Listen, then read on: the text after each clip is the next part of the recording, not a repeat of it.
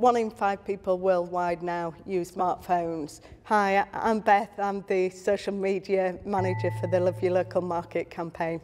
I'm going to be talking to you about why you should use social media and what it is. Keep going. Well, social media is the 21st century word of mouth. In the past, you'd have relied on having to tell your customers to pass on the message to their neighbours, to their colleagues.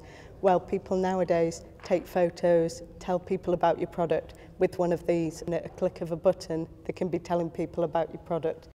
Many people ask me um, what resources they need to get involved with social media. They think they haven't got time to produce a Facebook site, to produce a Twitter site. Actually, you don't need much time. There'll be traders on the markets that are already on Twitter and Facebook. There'll be people who are already taking pictures of you on Instagram and it's basically pulling it together. And to be honest even if you don't do a tweet or on Facebook every day it's better to have a presence than nothing at all.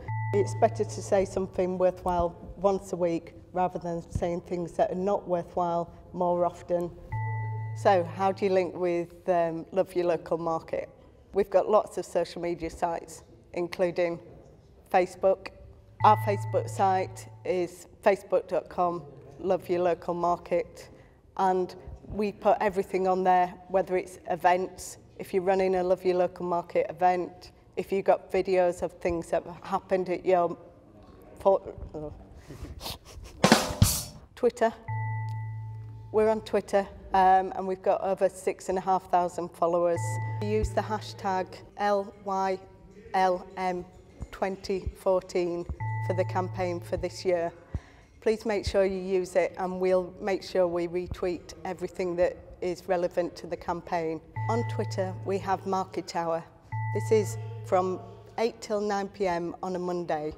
And the idea of Market Hour is that everyone who's interested in markets can have their say and comment and tweet about what they've been doing. And the hashtag is just hashtag Market Hour and the username is at Market Hour. We want to encourage people to get involved, talk about what they're up to, and we're also looking for people to host the hour. So if you've got great things happening about your market in a particular week, then feel free to um, ask us whether you can look after Market Hour. Tumblr. Tumblr is a blogging site. We've got a Tumblr site and not only can we blog about things that are going on in markets and love your local market, but you can add your own. And you don't even have to email it us. You can put it straight onto the site yourself. So the more blogs we can get about love your local market, the better. Pinterest. For those that don't know Pinterest, Pinterest is all about mood boards using photos. So what we've tried to do is get mood boards all about markets. And if you've got posters or photographs from any of the events for Love Your Local Market 14, make sure you put them on our mood boards and we can share them with people. An example of how we've done this is Christmas markets. This year, 20, well, 2013 just gone, we used um, a map showcasing where all the markets were, the Christmas markets, and the photographs from those Christmas markets. And we can do that with Love Your Local Market 14. The main thing I would say to all of you when using any of the social media is making sure it's interesting, making sure it's got videos, making sure it's photographs, making sure anything you're doing with young people, um, characters that you've got on your market, making sure they're all over the social media and making sure it's a lot more lively than I am now.